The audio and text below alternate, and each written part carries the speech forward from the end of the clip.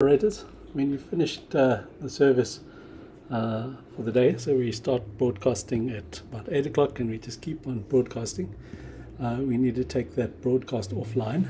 So to save me coming online, I'm doing this from home, I'm just taking it offline. You'll see that um, there's this little, I don't know what it looks like, an atomic bomb. It's called OBS. You just open that one and then you'll see it's got multiple output scene transitions and controls. Go to this control one and you say stop streaming. And then it'll take the service offline the one that was uh, being a live feed. Thanks man